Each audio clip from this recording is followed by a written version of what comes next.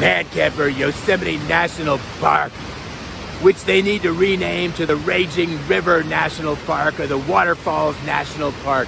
I am surrounded up there, down here, to the left, to the right. Man Camper is witnessing waterfalls and raging rivers everywhere.